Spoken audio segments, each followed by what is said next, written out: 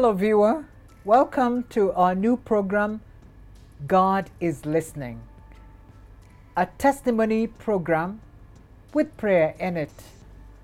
Um, to, to, today in the studio is uh, my guest. Her name is, please tell us your name and say hello to the viewer. Hello, viewer. My name is Jecinta Were, a member of New Life SDA Church. Amen. Amen. Uh, Jecinta, will you please tell us your favorite verse, what God is speaking to you at this time, and then pray very briefly. I like the middle verse in the Bible. That is Psalms 118, verse 8 and 9. And it says, It is better to put your trust in God than in man. Amen. It is better to put your trust in God than put your confidence in princes. Amen. That verse encourages me because it makes me know that God is my everything. Amen. Shall we pray? Amen. Father, in Jesus' name, we come before the Holy Presence. We just want to invite the presence of the Holy Spirit that even as we uh, discuss and even as we share these testimonies, your name and your name alone may be glorified. Take control of the whole program, for we pray in Jesus' name. Amen. Jecinta, thank you for coming. It's nice to have you here, Thank you. and I know that the Lord is going to bless us together with our viewer. Uh, tell me, uh, who are you? Uh, who are you in the world, and do you know Christ? Um, Jecinta Were, Were, from where I come from, is another name for God. Amen. So I believe I'm physically a child of God. and spiritually, through the birth, the second birth, I'm a child of God. Amen. So y- you can easily call me Nyathi Nyasaye, you know, child of God, because of the many, many things that God has done into my life. Amen. Um, outside there, I am a water steward, I'll call myself that, mm-hmm. because God has given me this resource to manage. What is a water steward? A water steward is just a water manager. I manage the water resources of this country. Okay. And, but that one aside, mm. I believe that my calling is just to serve God. Amen. Yes. Because many things I've only seen when I'm in the service of God. So, how did you meet Christ to begin with? I was born a Catholic. That's where Jacinta comes from. And then my parents were turned from Catholic to Anglican. Mm -hmm. So I grew up in both Catholic and Anglican uh, home. But then I met this man who introduced me to, to, to the Seventh day Adventist Church. Mm -hmm. I want to tell you, my sister, it was not easy to become an Adventist. Mm.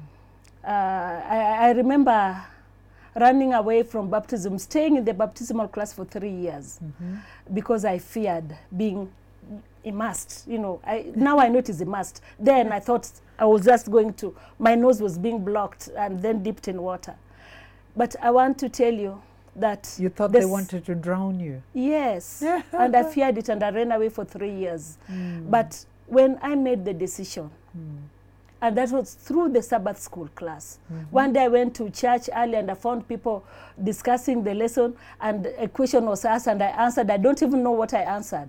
But the fact that I could be given an opportunity to discuss the Bible was enough for me. From that time, I started going to church early so that I could get the Sabbath school. And, and that's how I became a Christian. It was through the Sabbath school that Christ spoke to me, and I came to know about him and I accepted him as my Lord and Savior. Amen. I await his So- second return. So, uh, you were amazed by the lesson, dis- uh, lesson discussion in the Sabbath school. Yes. Amen. And I still enjoy it. I don't want, I mean, a Sabbath without lesson discussion is not complete for me. Amen. It is what, you know, it's like I'm preaching to myself and it tells me what to do and how I should do it. so, it also empowered you. You felt empowered Yes. that you could discuss the Bible. yes. Amen. Amen. And share, uh, I know, hear what the others think about it. Amen. I think it's a very good thing. Amen. Praise God. Amen. So now tell us, what has God done in your life? What is this testimony that you want us to hear today? I'm sure you may be having many, but there's one that has brought you here. Actually, there are many. I don't even know which one to pick because my whole life is about testimony.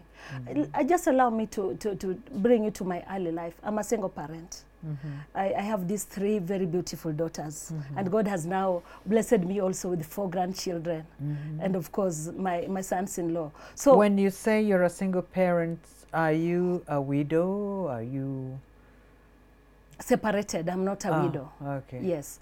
But then God placed these kids in my hands when they were very young. Like the, the last one was just nine months old. So I didn't know what to do.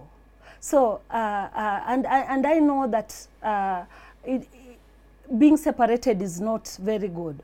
So I, I was like running away from God, running away from the responsibilities I had been given in church. Until this pastor came and told me that, Jecinta, God loves you.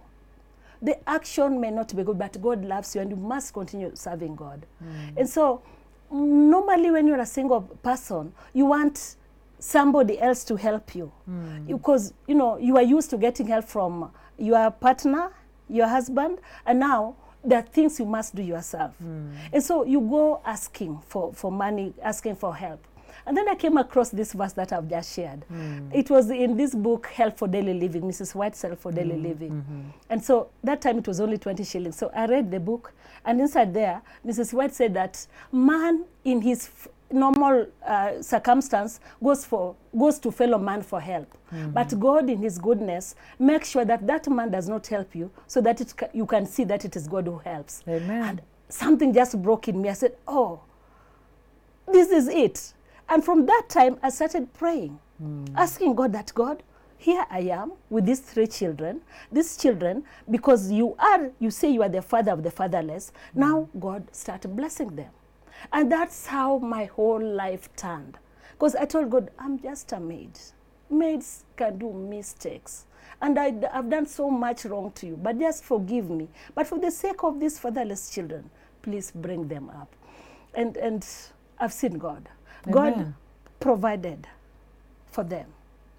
I want to tell you my sister and you've known me for some time even getting school fees was not easy. Buying books was not easy.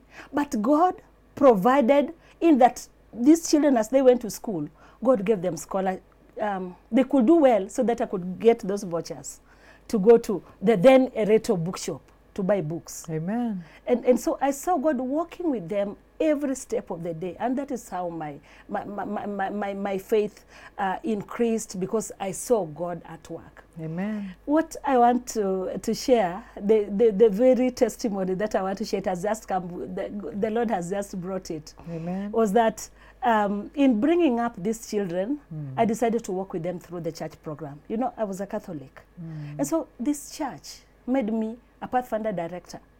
And I didn't know what to do. So I decided to go and learn about Pathfinders. The year was 1996. And I, the first camp, we were going to have a camporee at Masai Mara. Mm. And I was going to take the church kids. And I didn't know what, how to take them as a director, and I don't know about a campori. So there was this campori that was in Uganda. I decided to attend it. Mm. And I didn't have money to attend the campori. Mm. And so again, I went on my knees and asked God, God, please provide the money that can take me to Uganda to attend the camporee. And I, I told God that, God, as I go, please, God, don't let the landlord close the door for me. And don't let my children be chased away from school when I'm away. And I had God say yes.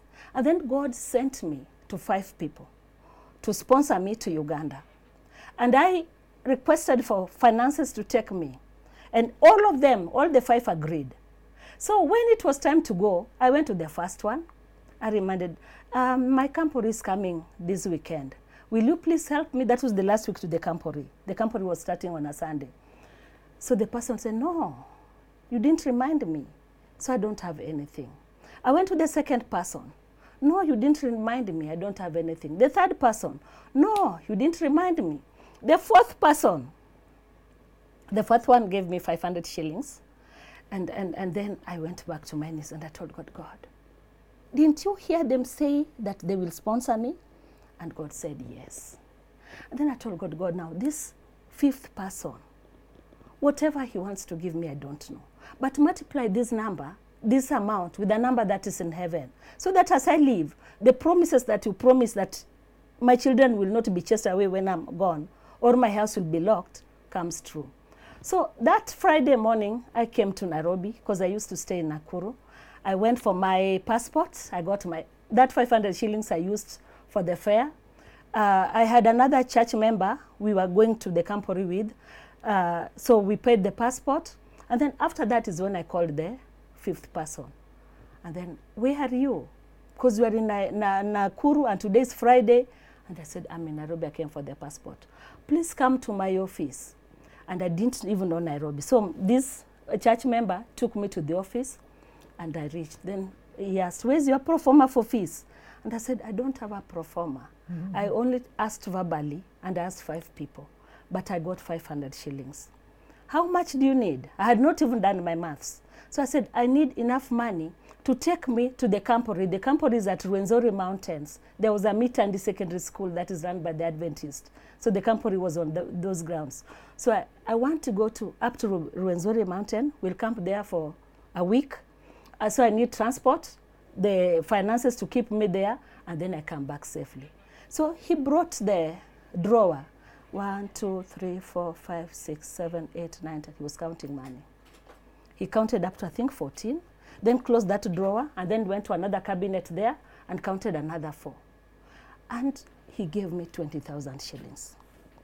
20,000 shillings in 1996 was something that I couldn't, I, I, I, you know, it was more than I could. And instead of saying thank you, I just said, How great thou art. Amen. And I started singing. And I sang. In his office. Yes, mm. and I sang, and we left.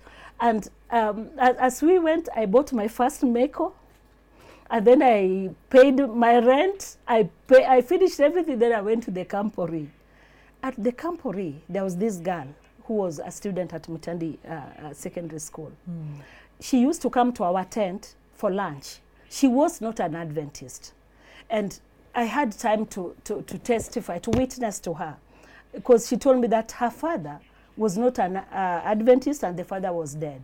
So she wanted, she didn't want to join the church because she doesn't want to let her father down. So I told her, even me, my father just died the other day, and here I am. He was not an Adventist. So I talked to her, I talked to her, but she was not willing. So on Sabbath during the baptism, she came to eat in our tent, but we had not cooked because Kenyans were fasting.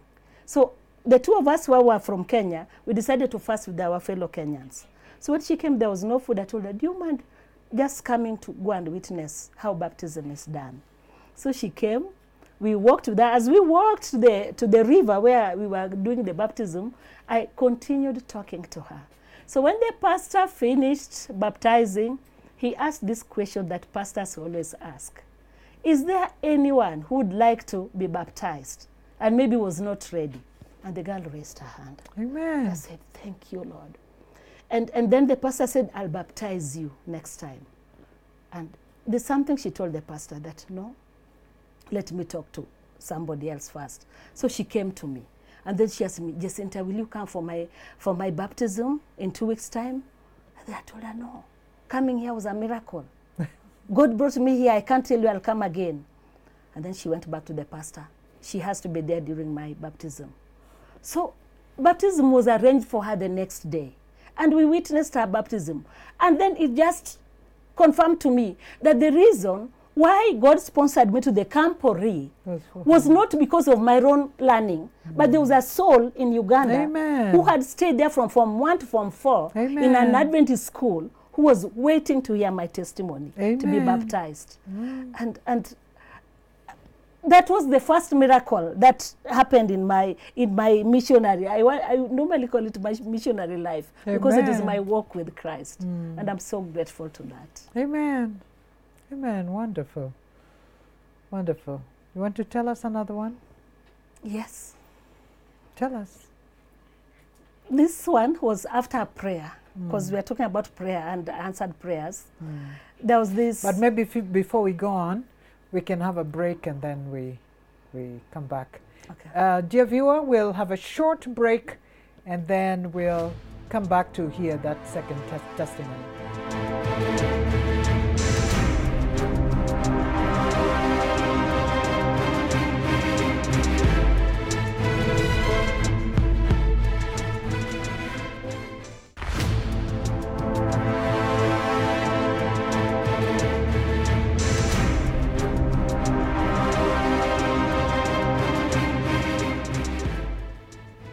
Welcome back, dear viewer. We you are watching Hope Channel Kenya, and the program is God is Listening, a testimony program.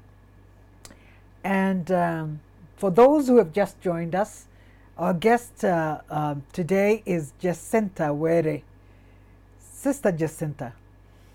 Yes, thank you for the first one. Please tell us what else is in your heart. Thank you. Yes. Um, I'd like to share something uh, wonderful that happened after prayers. Amen. Um, I don't remember the year. The only thing I remember is that one of my daughters had just done her uh, st- form standard 8 mm -hmm. and she passed well. God blessed her, so Amen. she passed well. And then we were looking for schools, mm. and there was no school. Mm. And where she was taken, she didn't want that school. So here I was running with the results in every school. I go to this school. This one did very well. Uh, we can't have her here. This one did very well. Go to where she chose. And so I walked and walked. And then a friend of mine asked me, my friend Pamela, she asked me, Jecinta, have you prayed? Or you are just working with the results because you did well, because the daughter did well. And I realized that we Oh had not my. prayed. So we agreed to fast and pray for three days. Amen. With your children. fight. Yes, and my friend, she helped me. She joined the, the, the, the prayer. So we prayed. And after the prayer, I had a dream. By the way, I don't know the difference between a, vi- uh, a vision and a dream. But I saw a dream. I had a dream. And in the dream, Was it in the night? Were you sleeping? Yes, I was sleeping. And then the dream came, and in the dream, the former president of this country had visited our church in Nakuru. Mm -hmm.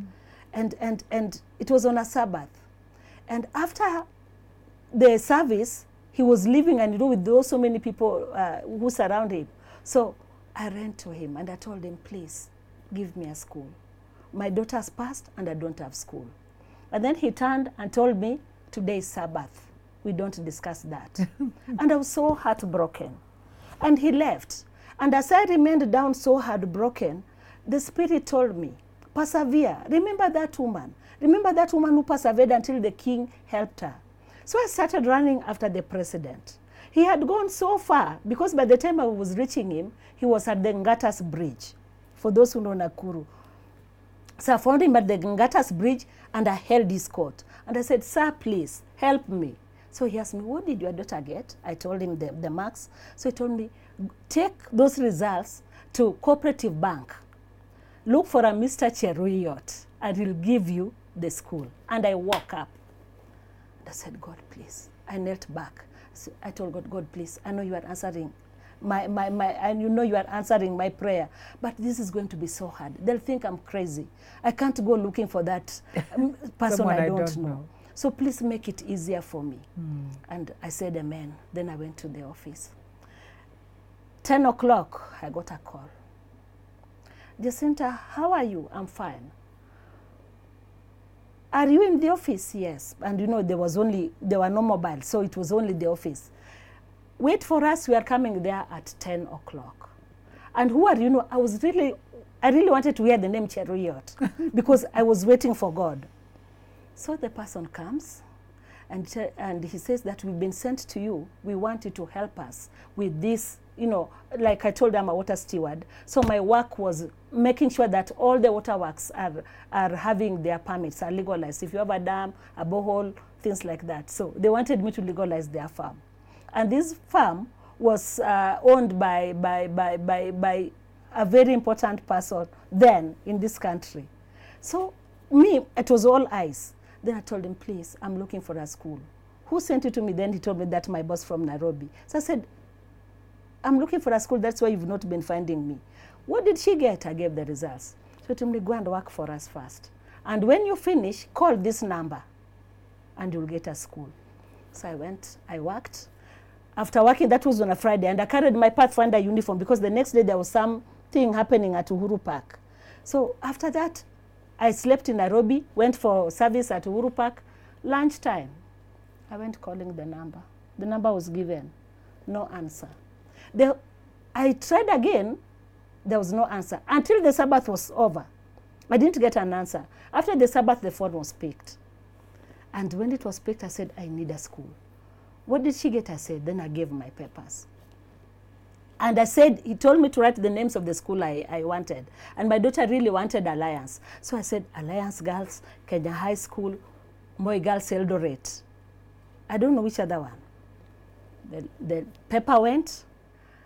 I followed it. When the letter came for me to go to school, it was not Alliance. It was not Kenya High. It was not Moi Girls Eldoret. The school, okay, I was told to go and pick my, my, my, my papers from Kabarak High School. So I went to Kabarak, and when I reached Kabarak, I was not given the, uh, the letter to Kabarak High School. Instead, I was given a letter to Sacho High School. And I was like, Sacho.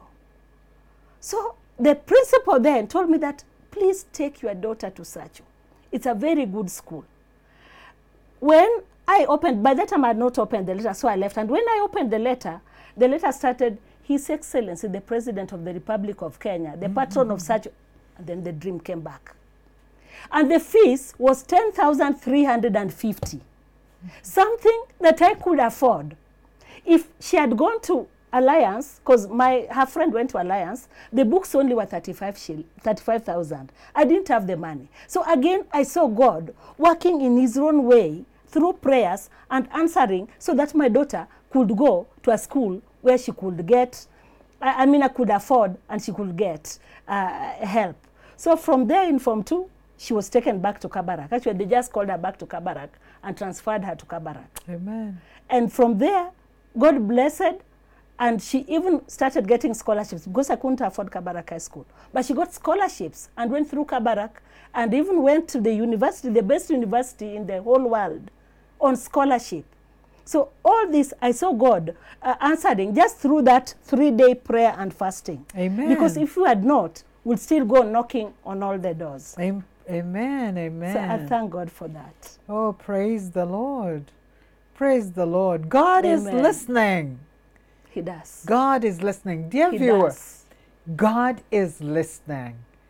Many times we struggle all by ourselves. We do our plans and we want to execute the plans and we forget God. We forget God that there's a God who created the universe, who is our God, who has redeemed us, who has made us his children. We are called by his name and he wants to help us. He has said, Call unto me, and I will answer you, and I will show you great and mighty things that you, you never knew. He has said, I know the thoughts that I think toward you, Amen. thoughts of peace and not of evil, Amen. to give you a future and a hope. This is what God says. But many times we struggle on our own. Mm-hmm. Jecinta, can you repeat that verse in Psalms 119? Psalms 1, 118, ver- 118, yes. verse 8 and 9 says, hmm. It is better to put your trust in God than in man. Amen. It is better to put your trust in God than have your confidence in princes. So in your first in your first testimony, you trusted in man and they disappointed you. Yes. In the first second second testimony, you trusted in yourself and you thought, "Oh, my child has done well. Mhm, I'm going to get a school." hmm But the Lord led you back to prayer. Yes. And after prayer, it was God himself. Yes. Praise the Lord. To an Praise extent God. of the fees. You know, Amen. I, and the books were all there. Everything, uniform free, everything was free. Amen. So now we will we will pray. Yes. Dear viewer, in case you are struggling with something, just remember that God is listening. He sees you. He's a God who sees and He's listening. And when you pray, pray believing. By the way, in the book of Hebrews 11 and verse 6, it says, But without faith, mm-hmm. it is impossible to please Him. For whoever comes to God must believe that, first of all, He is, that God is, and that He is a rewarder of them that diligently seek Him. Everyone Amen. that seeks Him diligence, diligently, He rewards.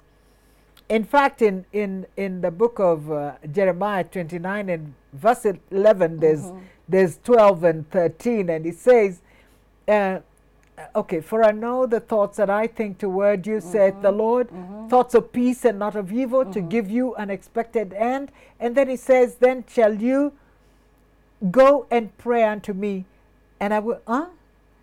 Uh, let me not, uh, let me just paraphrase, Paraphrase. but read it. And then he says, And you shall seek me and find me mm, mm. when you will seek me with all your heart. Amen. So let's seek the Lord with all our hearts. We will find him. There's so many promises in the Bible. So seeking him means that we search the scriptures, that we pray, that we share uh, the word of God with others, that we mm. share testimonies, the way that um, Jecinta has just shared testimony, her testimony with us. Aren't you encouraged? I am encouraged right here in the studio by her testimony. Amen. God wants you to be encouraged that He is for you. Amen. That Jesus came and died for you, that you may be connected to God, that you may be a child of God. For as many as received Him, it mm. says in mm. John 1, verse 12, mm. that as many as received Him, to them He gave them power mm-hmm. to become children of God. Yes. Not just He made them children of God, but He gave them power to become children of God. Can you imagine? Your Father is the, the King of the universe the God of all flesh who inhabits eternity, Amen. and you're there struggling all by yourself, carrying your burden. Jesus said, Come unto me, all ye that labor and are heavy laden, and I will give you rest. Let us pray. Heavenly Father, in the name of Jesus Christ, we bless your holy name. We worship you, we magnify you, we adore you.